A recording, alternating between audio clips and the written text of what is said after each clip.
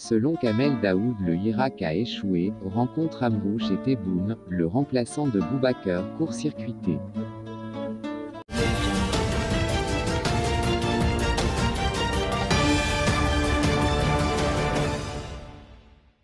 Le Irak algérien a échoué, comment l'écrivain Kamel Daoud a énervé de nombreux Algériens. Depuis près de 24 heures, le célèbre écrivain algérien Kamel Daoud est au cœur d'une très vive polémique en raison de sa longue chronique publiée dans les colonnes du magazine français Le Point. Et pour cause, dans cette chronique incendiaire, Kamel Daoud photographie un Irak à bout de souffle et incapable d'obtenir le changement démocratique pour lequel il se bat depuis le 22 février 2019. Kamel Daoud est allé jusqu'à décrire avec une minutie glaçante des fractures qui minent de l'intérieur le Irak.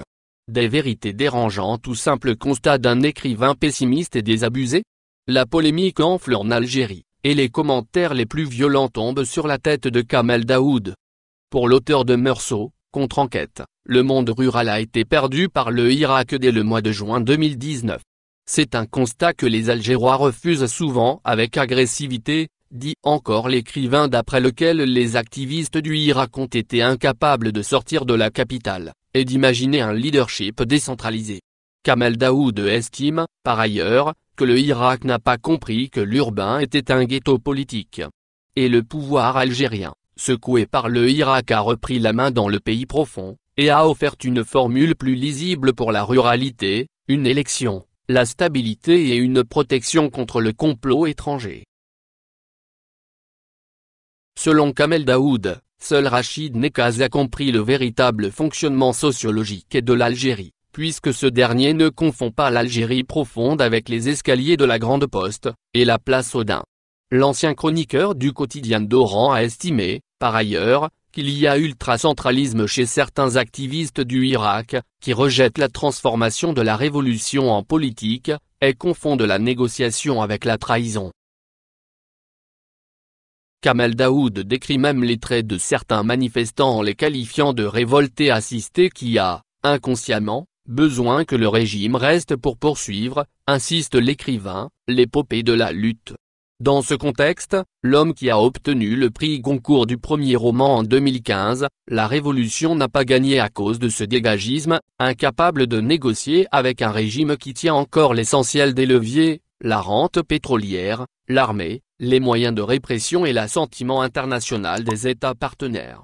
Kamel Daoud décrète enfin que le régime a gagné, mais provisoirement.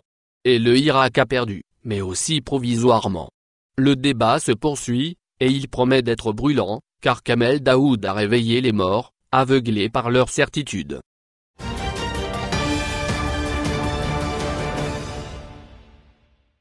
Algérie, ce que Mouloud Amrouche a dit à Tebboune. L'ancien chef du gouvernement, Mouloud Amrouche a été reçu, ce lundi 13 janvier, par le chef de l'État, Abdelmajid Tebboune, a indiqué un communiqué de la présidence de la République. Cette rencontre rentre dans le cadre des consultations autour de la situation générale du pays et du chantier de la révision de la Constitution, qui a été lancé officiellement mercredi 8 janvier. Cette rencontre s'inscrit dans le cadre de la poursuite des consultations lancées par le président de la République avec des personnalités nationales, des présidents de partis et des représentants de la société civile sur la situation globale du pays, et la révision de la Constitution, dont la mission a été confiée, dans un premier lieu, à un comité d'experts présidé par le professeur universitaire et membre de la Commission du droit international à l'Organisation des Nations Unies, Ahmed Laraba, précise la même source. Selon le communiqué, l'ancien chef du gouvernement Mouloud Amrouche a expliqué au président de la République sa vision sur les différentes questions posées sur la scène politique, et ce, à la lumière de sa longue expérience au service de l'État, ainsi que son suivi des événements nationaux en tant qu'acteur politique éminent. Jeudi dernier, L'ancien ministre de la Communication Abdelaziz Rahabi a annoncé s'être rendu au palais d'El Mouradia à la demande d'Abdelmajid Tebboune. Il a rendu compte de cette entrevue dans une publication sur sa page Facebook. Il a indiqué avoir transmis son inquiétude sur l'absence de confiance entre le peuple et le système politique. Rabi a également évoqué avec Tebboune, la nécessité d'aller vers une large entente nationale pour sortir de la situation actuelle. Rappelons que le président Tebboune avait reçu l'ancien chef du gouvernement Ahmed Bimbitour, dimanche 29 décembre. Cette rencontre est intervenue trois jours avant l'annonce du nouveau gouvernement.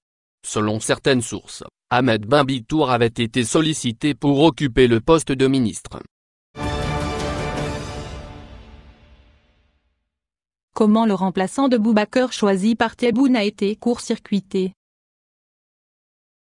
Algérie patriotique a appris de sources sûres, que la précipitation avec laquelle les deux principaux instigateurs de la mise à la retraite de Dalil Boubaker est due à la décision du président Tebboune, de remplacer ce dernier par une personnalité scientifique consensuelle, choisie à partir d'Alger. Selon nos sources, il s'agit du professeur Mustapha Sherif, qui se trouve actuellement à Paris où il a entamé une série de rencontres dans la perspective de sa désignation à la tête de la Grande Mosquée de Paris, en remplacement de celui qui présidait à ses destinées depuis 28 ans. Mais l'actuel recteur, dont l'élection est compromise, et le très influent directeur de l'administration générale en ont décidé autrement, et ont court-circuité le chef de l'État, en organisant une succession à la hâte et en flagrante violation des règlements qui régissent la société des selon des membres de celle-ci, qui n'ont pas admis la façon avec laquelle le recteur a été éjecté et remplacé par Chomseddin Hafiz. Ce dernier est convoqué à l'ambassade d'Algérie ce mardi où il devra s'expliquer sur cette manœuvre qui a provoqué une colère sourde à Alger. Dans un rapport remis à qui de droit, il est fait mention d'un coup d'État à la mosquée de Paris. Le rapport, dont Algérie patriotique détient une copie, note que les deux principaux architectes de cette mise à la retraite du recteur, préparent celle-ci depuis plus d'une année, notamment en faisant voter, à l'occasion de l'Assemblée générale de février 2019, le principe du versement d'une prime de 300 000 euros à Dalil Boubaker. L'administrateur aurait, selon le rapport, imposé un accord écrit à Chomseddin Hafiz pour faire de celui-ci le futur recteur de la mosquée de Paris, à condition qu'il s'engage à faire de lui le directeur général de l'institution, avec les pleins pouvoirs sur les finances, l'administration, le personnel et le culte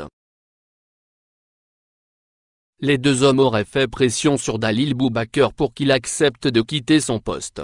Une pression que le rapport qualifie de harcèlement indécent et permanent, en indiquant que l'État algérien, qui a désigné Dalil Boubaker recteur de la mosquée de Paris en 1992, n'a pas été informé des décisions qu'ils allaient prendre.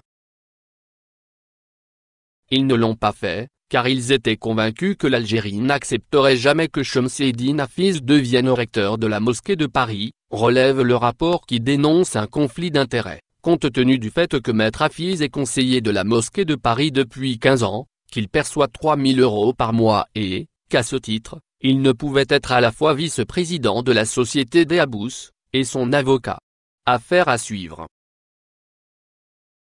Abonnez-vous à notre chaîne. Cliquez sur la cloche pour rester au courant de l'actualité algérienne.